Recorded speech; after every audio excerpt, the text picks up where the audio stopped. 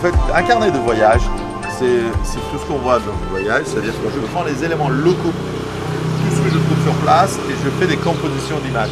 Par exemple, quand je suis devant la télé, je vois des émissions, et je photographie l'écran carrément ou euh, des, photos, des catalogues ou des trucs comme ça locaux qui sont assez marrantes et je le mets en très petit pour l'information sur le carnet. Un carnet, c'est un ensemble d'infos qui circulent euh, et que je vois.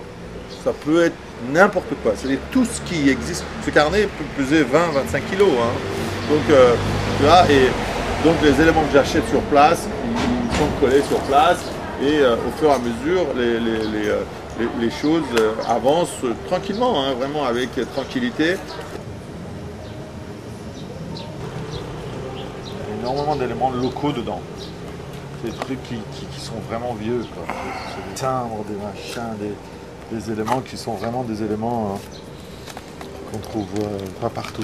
dans ces pièces, c'est des pièces vraiment d'ici. Euh, j'en avais trouvé une hier que j'ai pas sur moi. C'est écrit carrément en, arabe dessus, un dollar. Euh, à la place de 1 yuan ou 10 yuan, je sais pas, un truc comme ça, c'est des pièces que faut quand même chercher. Hein, et tous ces objets, tu les glanes au fur et à mesure du voyage? Oui, absolument. C'est pas si évident en fait de les trouver et surtout le coût il est assez élevé parce que en fait on les trouve, mais pour que ce soit sur un bouquin de 200 pages, en fait tu as, quand même tous ces papiers, c'est des prières euh, tibétains et euh, en fait c'est écrit à la main et imprimé certainement à la main un système traditionnel c'est pas évident de le trouver, mais euh, il faut avoir plein quoi.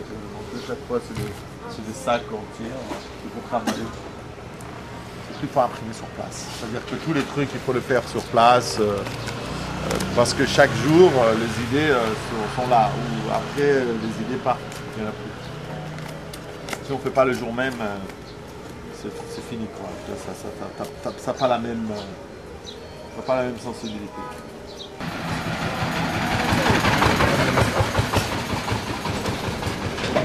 regarde le, le, le de peau, c'est magnifique. Le contraste entre le Chine moderne et le Chine nouveau, hein, c'est assez marrant.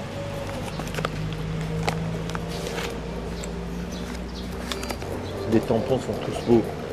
pour, pour, les occidentaux, quand on regarde la calligraphie, euh, regarde par exemple un simple, comme c'est tout en rouge, un simple positionnement de collage des médaillons ça te donne une touche. Euh, c'est à lui seul, c'est les éléments seuls sont déjà très graphiques. En fait, j'ai pas grand chose à faire.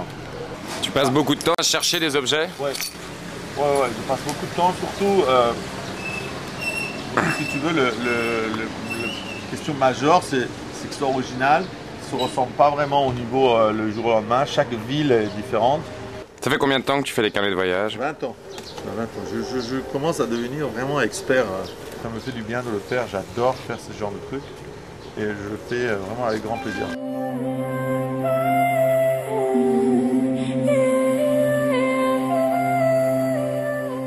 Je transmis euh, ce que je sens dans, dans un voyage, un carnet. Je veux dire, j'étais très touché par Tibet, très touché. D'un côté, on a le Tibet, les prières tibétains avec les moines euh, qui font les, euh, combats. Et de l'autre côté, tu as les des généraux de, Chinois qui, ont gagné en fait euh, des batailles, surtout au Tibet.